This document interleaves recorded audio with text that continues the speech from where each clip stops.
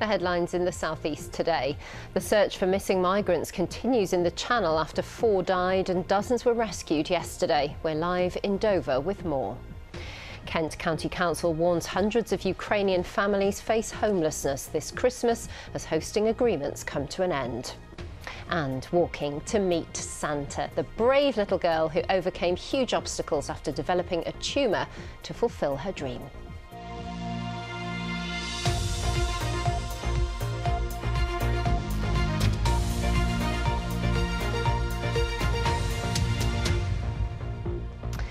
Hello. The search for people missing at sea continues today after yesterday's tragedy in the Channel. Four people died and 39 were recovered from the water in the early hours of yesterday morning. Charities say France and Britain must work better together to stop further loss of life.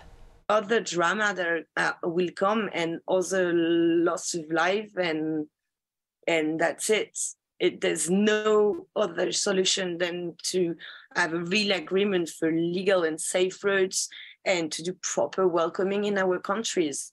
It's about France, it's about England, but it's about all Europe. Well, Piers Hopkirk is live in Dover for us now. Piers, that search operation is still underway today. That's right, Ellie. Uh, the searches began at first light today, but they are in marked contrast to yesterday. Yesterday, while there was still some hope of finding people alive out there in the channel, all available resources were put out there lifeboats, helicopters, the French and English Navy. Today, though, the search has been scaled down. They're simply using drones, and I think that is an acknowledgement that at this late stage they are simply searching for bodies. It is thought that there are four people still unaccounted for. Now, yesterday's tragedy has once again uh, propelled the issue of migrant boat crossings up the political agenda, and there are campaigners here in Kent who believe this latest tragedy indicates that the current approach simply isn't working everybody I know is is absolutely devastated that yet more lives have been lost in the channel. It, it's it's horrific. It's it's like watching a car crash in slow motion. You know, you you know it's going to happen. You want to stop it, but you can't. The fact is, we could stop it. We could stop it overnight by offering people safe routes. And I think the government is is wedded to a path that means that they're not going to do that. But that's the only way that we're going to stop this. Well, the Home Secretary and her French counterpart have uh, pledged to smash the people smuggling gangs who they say lie behind this problem. In a joint statement, Suella Braverman and Gérald Darmanin said the tragedy showed the importance of working closely together. Piers, thank you. Hundreds of Ukrainian families in Kent face homelessness in the run-up to Christmas, says the County Council, which is calling for clarity from central government on future funding for host families. The Homes for Ukraine scheme offers payments to families who host Ukrainians fleeing war, but the current round of government funding only runs until March. The authorities say they already have 2,086 Ukrainians in sponsorship agreements across the county, and they're anticipating as many as 500 Ukrainian households could be made homeless in the coming weeks because current hosts are unable to continue their sponsorship agreements. One mother from Ukraine whose child goes to school in Hawkhurst now has nowhere to live after her homestay ended. I didn't expect that it was uh, it will be so difficult to find the accommodation, uh, even if you have money and you want to rent and you have a job, it's very difficult. And during uh, maybe four months, I tried to find something. A lot of people tried to help me. Well, Charlie Rose has been looking at this and joins you now. Charlie, a very stressful time for Hannah and, and other people like her. Yes, early research by, by the BBC has found that around 51,000 people who came to the UK under the Homes for Ukraine scheme have now reached the end of their six-month uh, sponsorship period and Kent County Council uh, reckons that as many as 500 more households uh, could become homeless because current hosts are unable to continue and they're desperate for more host families to come forward. Uh, now this morning I went to see Laura Clout who's a mother of three and lives in the Sevenoaks area and she became a host in April. they're really considerate, um, really hardworking, um, just fun people to be around, and we just we just happen to get on. We always have, and the children now are like siblings. I know this means they fight like siblings, but most of the time they have lots of fun together. They wrestle together, all four of them on the floor. There's lots of, of squeals of, of fun usually. Now, things don't always run smoothly, of course. Uh, this morning I spoke to a man in the Sevenoaks area who works uh, with refugees. He says there are often cultural differences and practical problems to overcome, uh, including transport to schools and shops and so on. But he says a lot has been learned over the past few months. Now, the government has just offered additional financial support totaling many millions of pounds uh, to families. And a spokesman said they have a duty to ensure families aren't without a roof over their heads. Charlie, thank you. Now, for any child, meeting Father Christmas is a magical moment, but even more so for Yasmin, a little girl from Sussex who's managed what many thought was impossible.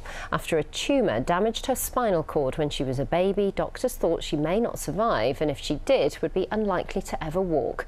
But after treatment at a neurological therapy centre, Yasmin has made great progress and taken some important first steps into Santa's grotto. Simon Marks has the story.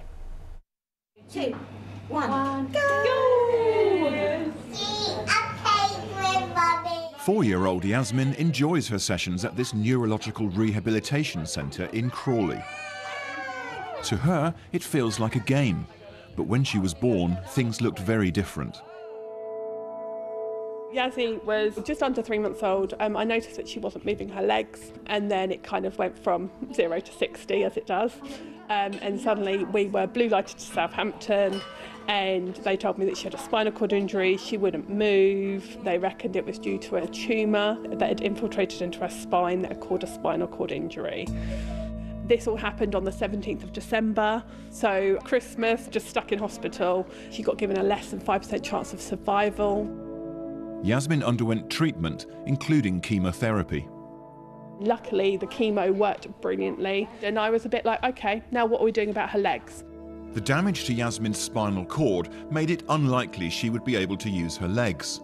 But Jessica, a paediatric nurse herself, remained optimistic. We kind of found a little wheelchair. It meant that she could go explore the outside world a bit better rather than being stuck up inside.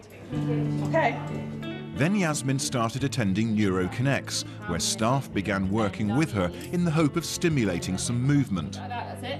Ready? We provide therapy in a fun and kind of creative way where we're trying to help excite their nervous system and try and encourage as much recovery as possible while still making it fun and enjoyable. After two years of therapy, Yasmin has achieved what seemed impossible. She's on her feet, and now there's one more special person she'd like to meet. She wants to take some steps to go see Santa, and she wants to try and do it without her crutches. Who's come to see Santa? Is that Yasmin? Good news. There's an extra special Christmas prezi for lovely Yasmin. Thank you, Santa. Oh, the pleasure's all mine. Before you go to sleep, if you look out your window and you see a shooting star, that's me on my sleigh. And you go, Merry Christmas. Happy Christmas, everybody! What a sweetheart. Well, time now for a look at the weather. Nina Ridge is with us. I've been driving past a snowman all week on my way to work. He hasn't melted at all. No, it is cold out there. For a lot of us, we're still below freezing at the moment. It's only really around the coast where temperatures around about two degrees. And this cold weather will stay with us for tomorrow once again, with temperatures well below freezing first thing in the morning. And despite it being dry with some sunshine, they will still struggle. It is bright out there. It's crisp. Temperatures, perhaps for a few of us, getting around about one to two degrees, as I mentioned, two or three, I think, around the coast at best. So then, with clearing skies tonight, temperatures really falling away. We may just pick up a few showers down towards the southeast, but they're passing. They just add to the ice problem because, of course, through the night, everything is freezing. We're looking at lows once again of minus five to minus six degrees. Possibly a little bit of mist and fog around first thing tomorrow morning, but that should gradually clear. We'll see some bright or some sunny spells through the afternoon, but it is another day that will feel very cold with temperatures just above freezing. It's not until Sunday that we'll see the arrival of the milder air. We'll look forward to that. Thank you very much, Nina. That's it from me for the moment. I'm back uh, later on though, 6.30. Hope you can join me then. Bye-bye.